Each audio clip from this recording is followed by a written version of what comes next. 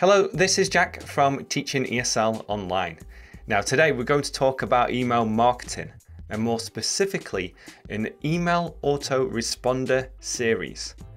I like to call these automations because that is what they are called inside my email marketing software. Now, to learn more about which software I use, then just go into the description and click my affiliate link. And while you're down there, consider taking the five day email marketing challenge. I'll explain more why you should do that later. So an email autoresponder series, or let's just call them automations from now on. These are a series of pre-written emails that go out automatically when somebody subscribes to your email list. For the sake of simplicity, let's say it is five emails. So this person is going to receive email one today, email two tomorrow, email three on day three, and so on.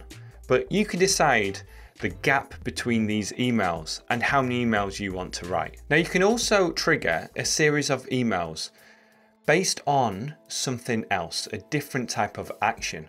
For example, if somebody goes onto your sales page and you have software which tracks that, then you can send out an email to somebody if they don't buy your course or product. Or if you want to do a webinar, you can send out an email and if somebody clicks the link to join the webinar, then you can use that as a trigger to then send out automated emails for your webinar. Or if somebody buys something from you or books a consultation, then you can send out pre-written emails. So all of these are automations. And again, they're pre-written and they go out automatically depending on the trigger.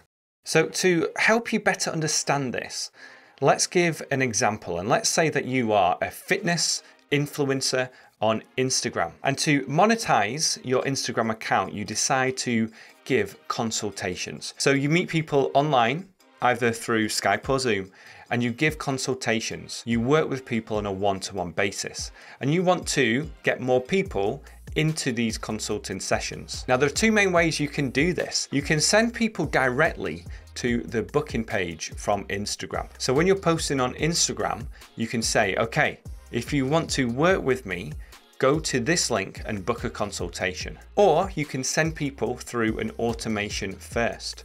Now, the key point is this. From my experience and from talking to others, Sales are much higher through email automations than just sending people to a sales page. How successful these strategies are depend on the kind of content that you're creating. Because if you make a really good connection with somebody, then they're more likely to buy from you. And you can do this on Instagram. But if you get the automation stage right and you write a really powerful series of emails, then this can bring in so many more consultations than just sending people to a sales page. Now, what I recommend you do is try both. So try sending people directly to your consulting page and also through the emails. And you can even give people an option of the two things. But the automation works because what you're doing is you're communicating with people in a way that you wouldn't do through social media. So when you're on Instagram, it's not really a salesy platform. If you talk about your consultant all the time on social media, then people will stop engaging with your content. But email is different because it gives you the opportunity to nurture your leads. People buy from those who they know, like, and trust. And you can build this connection through email when somebody opts in to your list. But it's not just about nurturing the leads and getting people to like you, because an automation allows you to send out the best information you can in sequence. You could take people through an experience so that they are more ready to buy from you. You can lead people to the offer of your consulting so that they are convinced to spend their time and money with you. So this works for other things too. It works for courses and also digital products. And this is what I do on my channel for English language learners. I send them through a series of emails after they download my book and we're going to talk about lead magnets in a moment. If you're in other industries, the type of emails that I'm going to talk about later might not be best for your business. So for example, if you are an attorney, there's a different type of message that you want to send out.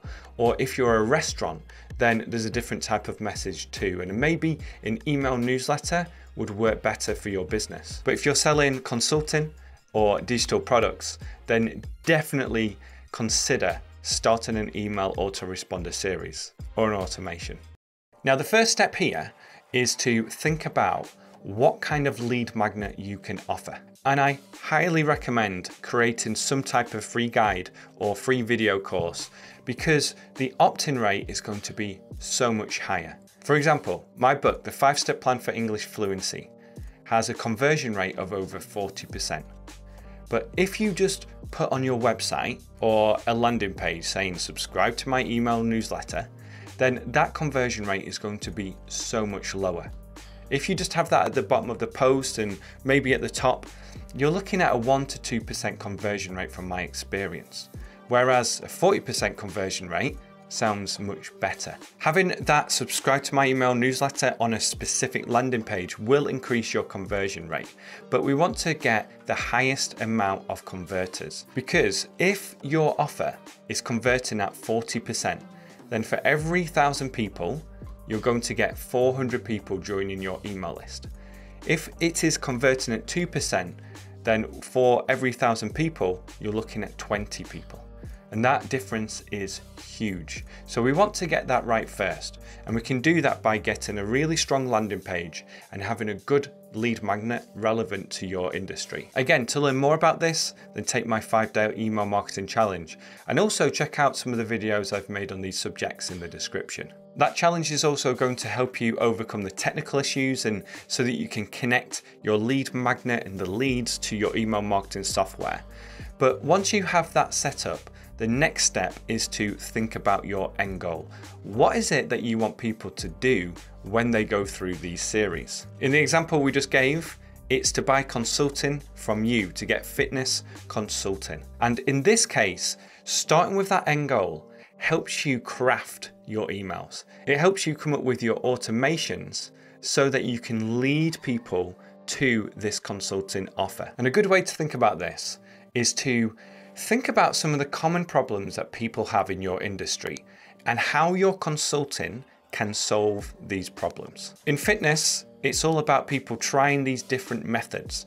They know information, but they're not seeing any progress.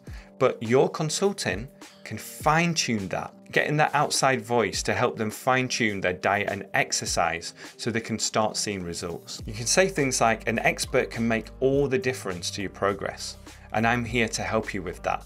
And right now, you can get my consulting, the first consulting session for 50% off. So you're going through the problems they have, saying how you can solve those problems, and then giving a good offer so that people take you up on this. In your emails, you can also overcome barriers and concerns. You can talk about how there's no obligation to continue and that they will get a lot out of that first session if they don't decide to continue. You can also mention that they can take their consultation in their own time so that they are on their own schedule. So having these series of emails that lead up to this offer that go through the problems and how you can solve them is a way that you can increase your sales. So again, if you have an online course or a digital product, this is going to work for that too. And this is how I constructed my automations when writing them for my English language learners. If you don't have a product or service to sell right now, then still consider creating automations because you can write a series of emails that send out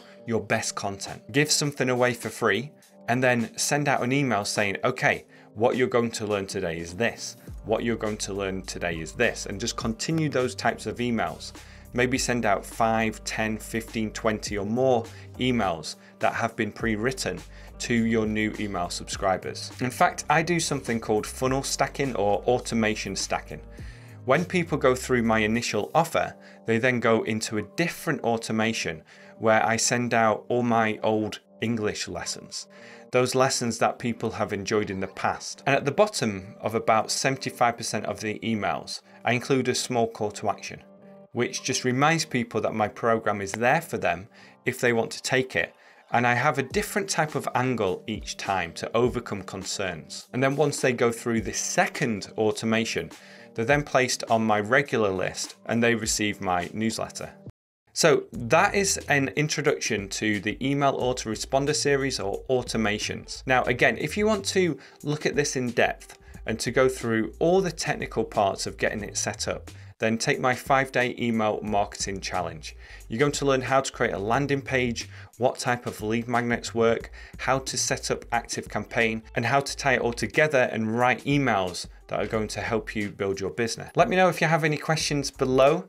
Thank you so much for watching this video, and I will speak to you soon. Bye bye.